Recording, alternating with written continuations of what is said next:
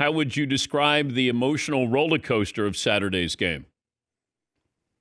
You know, it was unbelievable. Uh, you know, in the moment, uh, you thought back to all the things that we've done to build a program to, to what it was.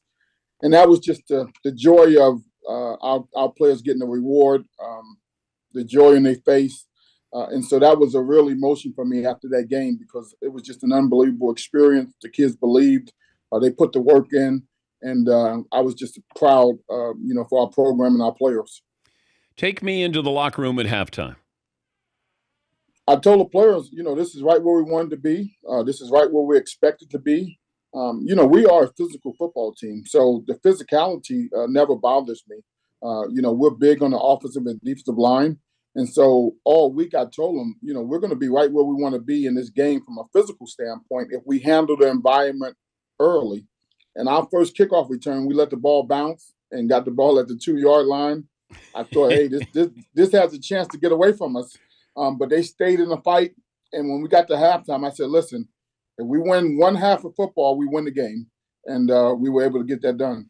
But you're telling these kids they're in South Bend playing against Notre Dame. Most of them probably didn't even get recruited by Notre Dame. And you got to quiet them down a little, calm them down a little bit, but you still want them to be fired up. So, how do you walk that tightrope there? Yeah, you know, the night before the game, uh, I talked to him. I said, listen, the Rocket Ismail is not running down that tunnel. and uh, by the look on their face, I, I, realized they had no idea who I was talking about. So then I had to take it a step further. I said, you know, Joe Montana, uh, Ricky Watters, uh, Jerome Bettis. And so they, they understood those guys. Um, but uh, I, I guess what I wanted them to understand was we were playing the 2024 Notre Dame team. We, we're not playing the, the nostalgia of Notre Dame and uh, and they they they they stayed in the moment uh, from that standpoint, and, and I was happy to see it. You should have showed them the movie Rudy.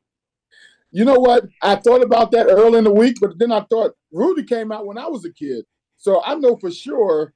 Uh, you know, they have no idea what Rudy was about. It hit you right after the game. You got emotional. Yes. Uh, you know, because I talked to our team before the season about the breakthrough. And I told them a bamboo takes five years to break through the surface. And when it breaks through the surface, it grows 90 feet. Well, this is our sixth year. Uh, we've done a lot of watering uh, and a lot of, you know, getting these guys to mature. And that felt like we started to break through at that moment. And I was just, uh, you know, flushed with a wave of emotions that was unexpected. I'm normally not an emotional guy in that capacity.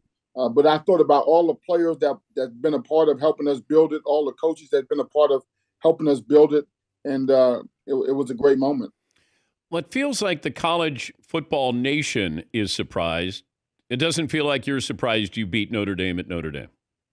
No, I, I wasn't surprised. And and to take it a step further, you know, I meet with my staff on a, you know, game day in the mornings, and I told them, I said, listen, I had a dream we were going to win this game by a field goal. I, I no, I said I had a dream the game was going to come down to a field goal, and I said I woke up so I can't tell you what happened. Uh, I, I, I, am not, I'm not that, uh, I'm not that good. But I, I, had a dream that it came down to a field goal. And the week before, we had some issues on, um, you know, extra point, and so I had that nervousness going about me. Um, but I, I'm glad it turned out the way it did.